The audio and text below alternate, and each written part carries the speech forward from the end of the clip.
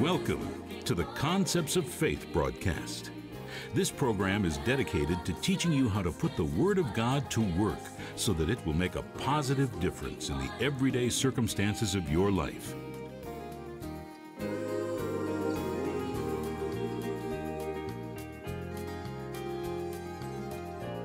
we're talking about the power of the spoken word. Ten times, well, six times in Genesis, it says God said and God saw. Well, it says ten times that God said. And every day God said and God saw.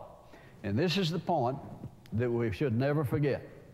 If God said so he could see, if we ever going to see it in our spirit, if it's ever going to get on the inside of us, we're going to have to say it. Say what the Word says. Now, I'm not talking about saying things you have no scripture for. Like someone said one time, they said, Well, uh, would you, would you uh, uh, agree with me on this? And, well, what scripture are you standing on? Well, nothing in particular. I said, Well, that's what you're going to get, nothing in particular. no, you got to have you got to have the word for it. See, the power is in the word. It's not just the saying it that causes it to happen. It has to have word behind it. We're talking about the power of the spoken word. Now, when you get over into uh, Hebrews, the, the uh, 11th chapter, we're all familiar with this, but, but let's look at it again. Because uh, so many times uh, it becomes old hat, so to speak, and we just kind of ho hum. Well, we're going back to that verse again. Well, let's look at it. Hebrews 11 1. Now, faith is a substance of things hoped for, the evidence of things not seen. Faith is the substance of things. One translation said faith is giving substance to things hoped for. What is it we hope for? We hope for what God has given us in His Word. 2 Corinthians chapter 1, the Apostle Paul said, All the promises of God are yes and amen. God's already said yes to them before you ever ask Him. He's already given it to you. 2 Peter chapter 1 says, God hath given unto us all things that pertain to life and godliness through the knowledge of Him that has called us to glory and virtue. And how did He do it? Through the exceeding great and precious promises that by these exceeding great and precious promises, you might be partakers of the divine nature. Notice it didn't say you would be, it said you might be. Depends on whether you act on it or not. Whether you give voice to the promise of God or not, because that's where faith comes from. Remember, Paul said in Romans 10 17, So then faith cometh by hearing the Word of God. Faith in God comes by hearing the Word of God. The opposite end of that truth is faith in the devil comes by hearing the words of the devil. Now, this is why it's so important to not go around talking what you think the devil said. Most of the time, wasn't what the devil said anyway. It was, he may have influenced your, influenced your carnal mind, but most of the time, it's your carnal mind rising up against some things. And the way to overcome that is get the Word of God in your mouth and renew your mind to the Word of God. Paul said in Romans, the, the 12th chapter, to not be conformed to the world, be transformed by the renewing of your mind. He says, God has dealt to every man the measure of faith. Not a measure, the measure. You ever, you ever stop to ask yourself, how do you measure faith? How would you go about measuring faith? Here's all the faith there is, right here. That's all the Bible faith there is. What's this, this book? The way you'd measure how much faith you have is how much word do you have in you. That's the way you measure faith. Now, God has dealt to every man the full measure of faith. That's it right there. Now, how much of that word abides in you? That's how much faith you have. If none of this word abides in you, you don't have any faith. Sometimes people say, well, they didn't have enough faith. That was only the symptom. The problem was they didn't have the Word abiding in them. It's not enough to know what the Word said. You have to get that Word on the inside of you. You can know about the Word, rejoice about the Word, and just bomb out in every, every situation of life. You have to have that Word abiding in you. that means that you don't go around saying, Well, I know the Bible says that, but now here's what happened to me. When you hear people say that, they've located themselves. They've cast out the word because of some experience. Now, Jesus tells you about that in the parable of the sower. He said, if you sow among thorns, the thorns will spring up and choke it. If you sow on rocks, it'll spring up immediately. But it has no depth of earth and has no root, and when the sun's up, it's scorched and it withers away. So first thing y'all do is, is gather up the thorns, pull the thorns up. And uh, being a farmer, I, I found out that if you sow on soil and the seed is very shallow, even rocky soil. In fact, not just a few weeks ago, I, I was planting some soybeans for a deer food plot. And, uh, and it, it, was hilly and rocky, and, and I spilled some seed on rocks, just, just gravel, rocks. And uh, about a week later, I was there, and it rained a time or two, and, and, and man, in, in two days, those things were up and growing right on top of that rock. But what happens when the sun gets up and gets hot? To no depth of root, and they die, wither away. See, no depth. So, so that's why we need to get the depth of the Word, get it on the inside of us. How do you do that? Word is nice in your mouth and it's in your heart. The more you say it, the more you believe it. The more you believe it, the more you'll say it. The more you say it, the more you'll believe it. The more you believe it, the more you'll say it.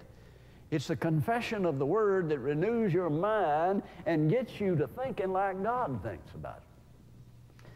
Now you look at the Scripture, it says, Give and it shall be given unto you. And then you look at your finances and maybe you decided to give more. And probably what happens at first is something bad happens and it gets worse. That's what Jesus tells you in the parable of the sower. He said Satan comes to steal the word. That's his only hope is to get that word out of you before you get it to working because if you ever find out it works, they're never going to get the word out of you. But when, when the enemy hears somebody say, Well, I know the Bible says that, but here's what happened to me, he knows he's got them. The word is nigh you, it's in your mouth and in your heart. Faith is a substance of things hoped for, evidence of things not seen. It's not the evidence of things you can see. Through faith, uh, verse 3, it says, Through faith we understand the worlds were framed by the Word of God, so that things which are seen are not made of things which do appear.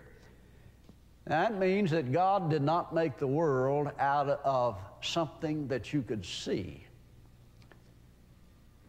was faith filled words spoken that created the universe. God said, and God saw. God said, and God saw. He framed the world with His words, with Jesus, the Word. Jesus was the personification of God's Word. Now, whether you realize it or not, you're framing your world daily with your words. Because what you say and continue to say is what you're going to believe and act on. It's your motivation. Because what you say gets in your heart.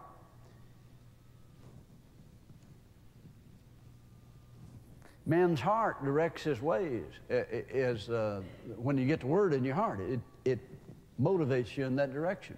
You always gravitate toward what you talk about the most.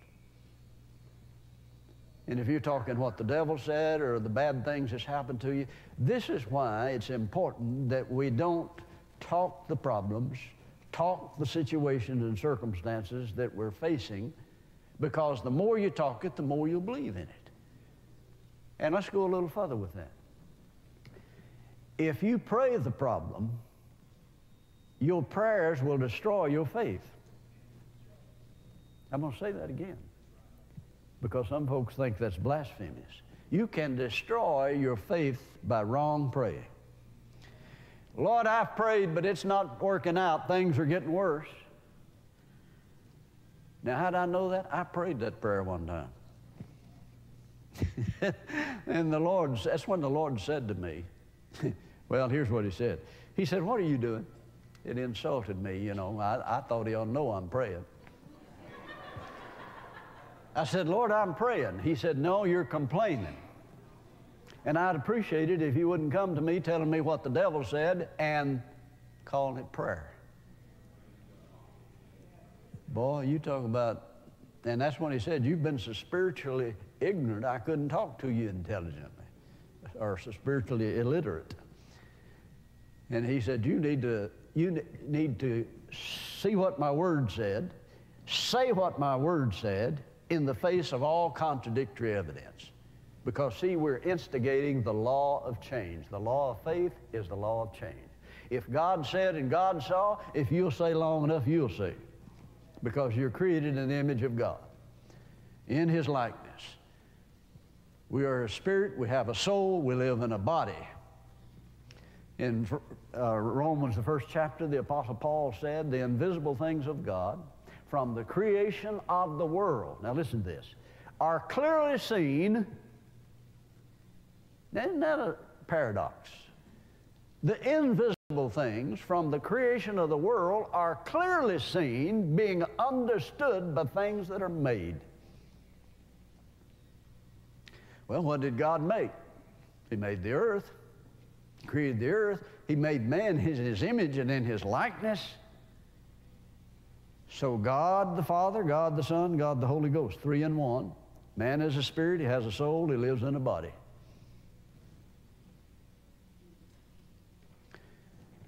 Everything that is made reveals spiritual things in, a, in a, one sense or another. That's just the way God works. Thermostat on that wall back there controls the heat and the cool of this building, but it can't do it unless it's hooked to the heart of the unit. That thermostat's a goal setter. You set it to 70 degrees, and when it's 40 degrees in here, you created a problem for the heart of the unit, but it knows how to fix it. Won't cook your food, it won't wash your clothes. Wasn't designed to do that. But if you set that thermostat on 70 and leave it there, it will send an impulse out there to the heart of that unit and said, get us some, some uh, warm air in here, we're cold. That unit can't say, no, we think you need yeah, the, the air conditioner, we're going to crank up. No, it can't do that. Because what you dial in that goal setter controls that. Your head, your mouth is the goal setter. What you're saying sends an impulse down here to the heart of the unit and says, find a way to cause that to come to pass. And while you're asleep, day and night, day or night, whether you're sleeping in the day or night or whether you're doing whatever, the human spirit is searching the avenues of God's wisdom find a way to cause to come pass what you're saying. Now, God is not going to cause something to happen that's detrimental to you, but your words can cause it to come to pass. Good, bad, or indifferent. Now, we said this in some of the other service. Bear, out here fits good because being a farmer for 30 years or 29 years before I went into the ministry, I found out that the seed has dominion over the soil. Soil never has dominion over the seed. The seed you plant, the soil has no choice but to produce it. Now, the parable of the sower, Jesus refers to the heart of man as soil. That tells you something. This is God's M.O.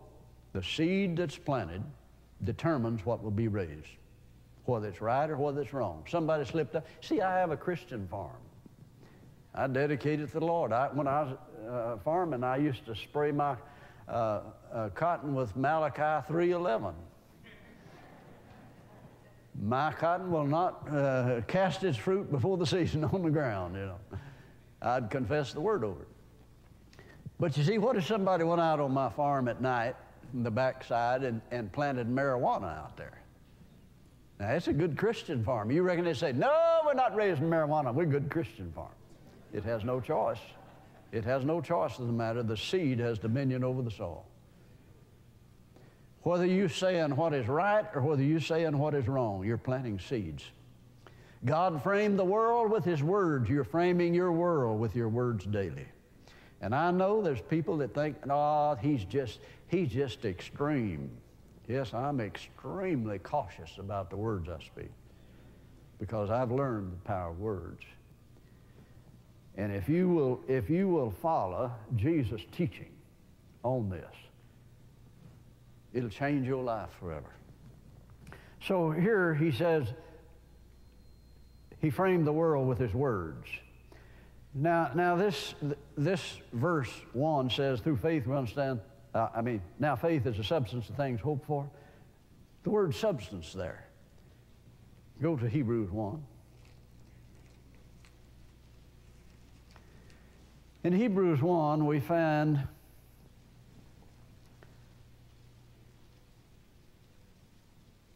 let's read the first three verses.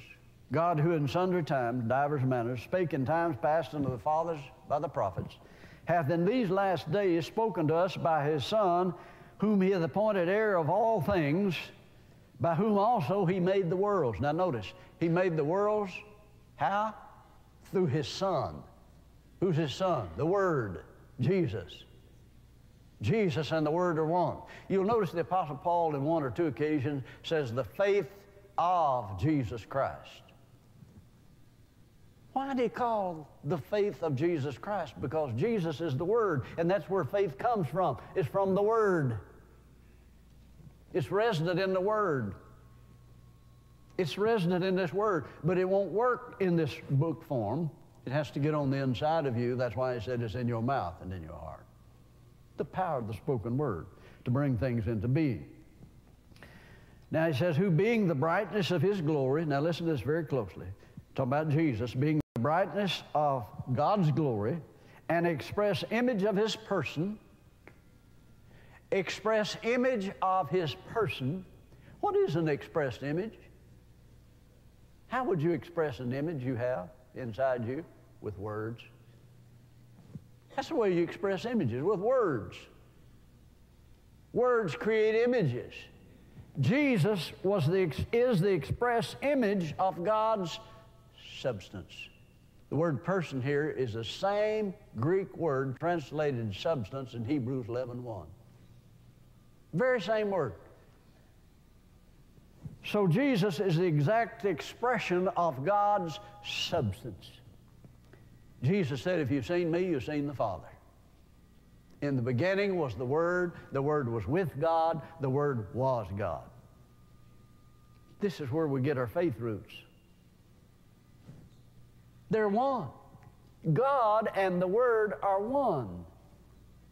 Jesus was the Word of God. Now, he was separated when he came to the earth. He took on a human form. He didn't come here as God, he came here as the Son of God, operated as a human being. Why didn't he heal the sick before he was 30 years of age? Because he couldn't. He's operating as a man. The Apostle Paul calls him the man, Jesus Christ. When he was baptized in the River Jordan at age 30, he had never healed a single person, never cast out one demon. Why? Because he couldn't.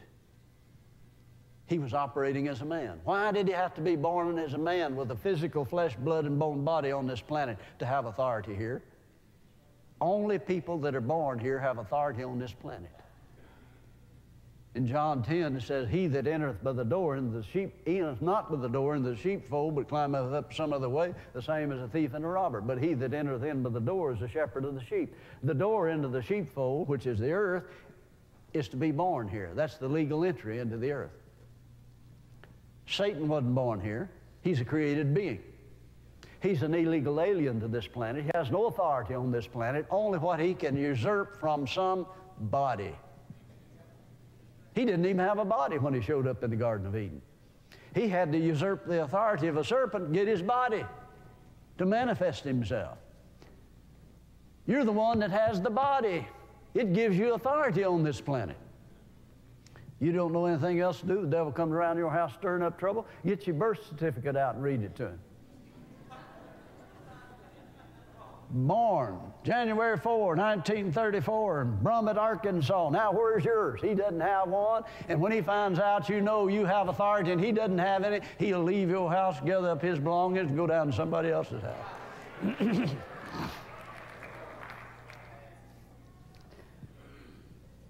the express image of his person.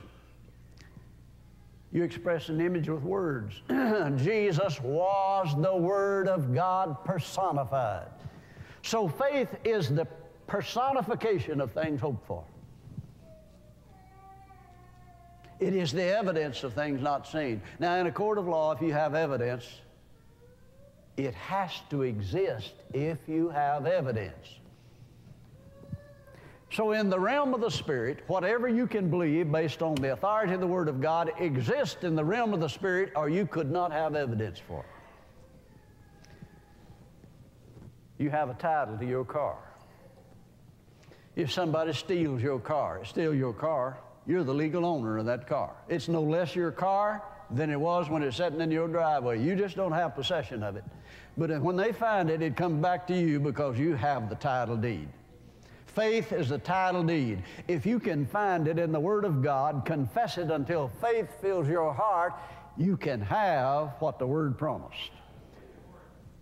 But now here's, here's where the problem comes in. So many times people say, well, now, if it happened to brother so and so, if God did it for him, he'll do it for me. Well, now, wait a minute. Do you know what brother so and so knew? Did you do what brother so and so did? Did you have the word in your heart like brother so and so did? All that enters into the equation. See, you may know about the Word, but you may not have it in you, it does not abide in you. So there's a lot of, a lot of things that, that people haven't understood. For instance, Jesus said in Matthew 12 that a good man out of the good deposit of his heart, he brings forth good things. Evil man out of the evil treasure or deposit of his heart, he brings forth evil things. For, now listen, for out of the abundance of the heart, the mouth speaketh. Now, this tells you that it doesn't come by just saying it, it has to be abundantly in the heart to bring it forth. And whatever's abundant in your heart will always get in your mouth. So check up on what you have abundantly in your heart. Many years ago, I was farming, had a fellow working for me for a few days. And and we're driving down the turn road. He was in a in pickup, and he was in a big way of telling me some big story. And he brought out a big curse word, and, and he happened to realize that I was a ministry threw his hand over his mouth. Oh, he said, excuse me, I don't talk that way. what is in his heart got in his mouth. See?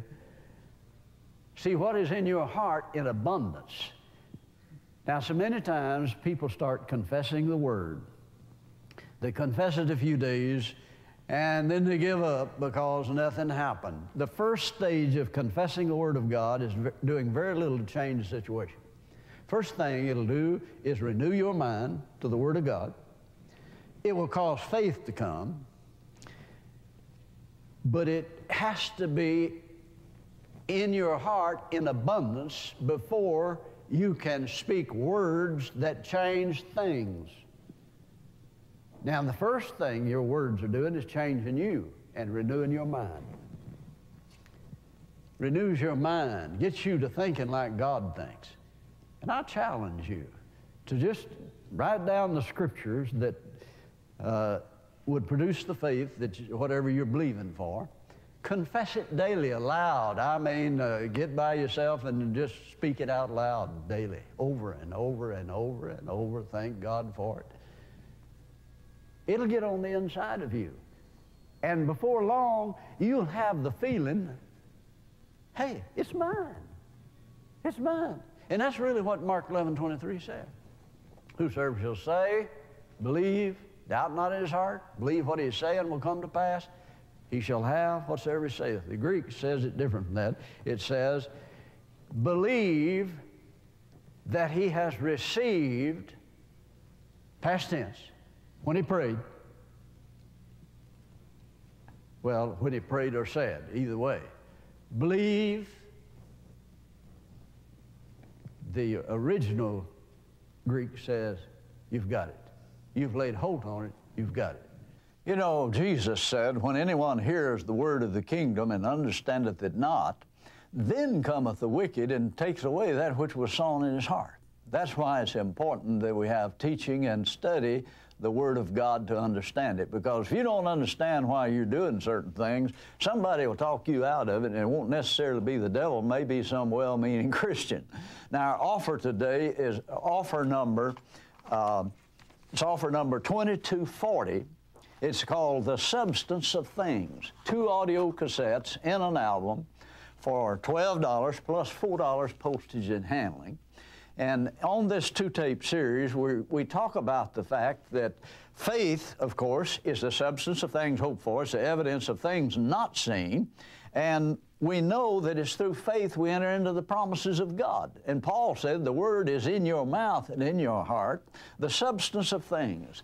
A Polaroid camera is the film is so sensitive to whatever you expose it to and it imprints that image on the film. The human spirit is the same way. If you imprint the Word of God on the human spirit, you will live out the reality of it. So that's why it's important. Paul said, uh, renew your mind to the Word of God. Don't be conformed to the world. Renew your mind to the Word of God. We give you examples and illustrations of how in this two-tape series that the substance is given to things because we have that image on the inside of us.